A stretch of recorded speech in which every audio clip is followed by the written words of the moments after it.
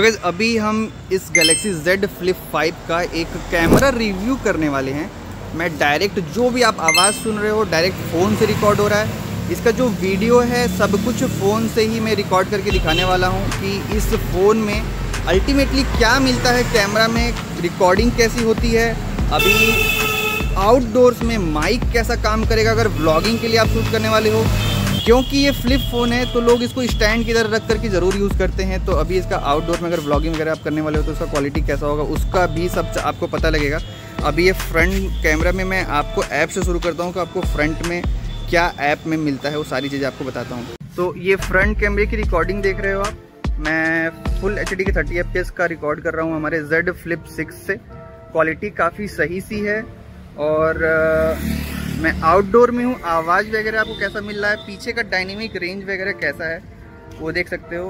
थोड़ा सा flush out होता है 10 मेगापिक्सल का कैमरा है, फिर भी काफ़ी सही है। मेंटेन कर रहा है ये धूप छाँव को कॉम्प्लेक्स जो शॉट होता है उसको। क्वालिटी तो काफ़ी सही है, आवाज़ कैसा है, मैं चल रहा हूँ तो वाइब्रेशन मतलब उसकी वजह से जो जो स्टेबलाइजेशन है वो कैसा है, आप देख सकते हो। मुझे बेहतर लग रहा है काफ़ी जो भी छोटे स्मार्टफ़ोन थे बट इतना हाई रेंज पे जा करके ये क्वालिटी लेने के लिए इतना ज़्यादा पैसा देना पड़े, ये चीज़ सही नहीं है। अब थोड़ा ज़्यादा आपको स्मूथ दिखाई देगा, जो भी चीज़ें हैं आसपास में चल रहा हूँ, थोड़ा ज़्यादा स्मूथ दिखाई देगा। ये 60 एफ़ है फुल एचडी का।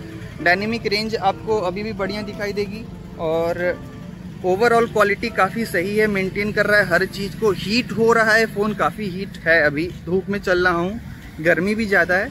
तो ये फ़ोन हीट हुई है बट काफ़ी सही क्वालिटी आ रही है। मतलब अगर ऑब्स्टिकल्स आ रहे हैं तो कैसा दिख रहा है ये? कलर वगैरह काफ़ी सही से रिकॉर्ड कर रहा है। चार चार माइक दिए हुए हैं तो इसमें आपको वॉइस देखना पड़ेगा मुझे कि वॉइस सच में कैसा रिकॉर्ड हो रहा है। चार माइक दिए दो नीचे दो ऊपर तो क्वालिटी सही हो, हो सकती है।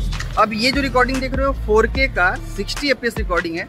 थर्टी में नहीं दिखा रहा हूँ फोर में सिक्सटी पे जाओ ज़्यादा अच्छा है जब फोर रिकॉर्ड कर ही रहे हो तो। अभी इसमें आ, मुझे लग रहा है कि बैकग्राउंड पे थोड़ा ज़्यादा ये फोकस कर रहा है। ओवरऑल काफ़ी सही है व्लॉगिंग वगैरह अगर आप करने का सोच रहे हो तो इस फ़ोन से कर सकते हो।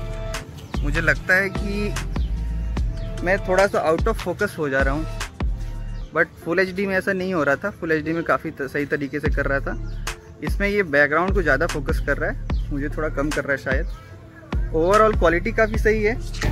तो गैस ये जो वीडियो देख रहे हो आप ये हमारे गैलेक्सी Z Flip 6 का फुल एचडी पे 30 एफ़ का रिकॉर्डिंग हो रहा है, हम लोग चल भी रहे हैं तो आप स्टेबलाइजेशन देख सकते हो। ये अल्ट्रा वाइड लेंस अभी सेलेक्टेड है। आप जो ग्रीनरी वगैरह आप देख रहे हो कलर काफ़ी हद तक सेम है रियल है। अभी 1x पे मैं स्विच कर रहा हूँ। 1x जो इसका मेन लेंस है 50 मेगापिक्सल का, इस पर कुछ ज़्यादा क्लियर और बढ़िया आता है। मतलब वीडियोग्राफी में सैमसंग ने काफ़ी इम्प्रूव किया हुआ है। अभी जो कलर्स आपको दिखाई दे रहे हैं या जो आवाज़ आ रही है आउटडोर्स में आ, मतलब मैं शूट कर रहा हूँ सन की लाइट बहुत ज़्यादा तेज है। क्वालिटी मतलब कलर्स प्रोडक्शन आपको लगभग लगभग सेम दिखाई देगा। हमारे एस ट्वेंटी फोर अल्ट्रा में जो रिप्रोडक्शन है ना कलर का वो काफ़ी सही है वैसा ही कुछ कुछ इसमें भी है।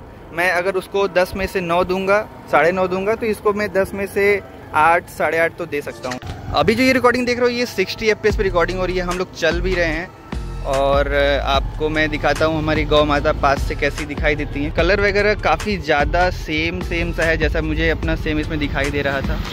जैसा मैं देख सकता हूँ, कलर वैसा ही इसमें दिखाई दे रहा है। कलर का रिप्रोडक्शन काफ़ी पहले से अच्छा किया है सैमसंग ने। और, आवाज़ की क्वालिटी वगैरह भी देख सकते हो। आउटडोर्स में काफ़ी ज़्यादा लाइट है, बहुत ज़्यादा एक्सपोजर है यहाँ पे बट ये मेंटेन कर रहा है हर चीज़ को। आप डायनेमिक रेंज देख सकते हो डायनेमिक रेंज काफ़ी आसमान वगैरह, जितना दिख रहा है सब कुछ क्लियर है।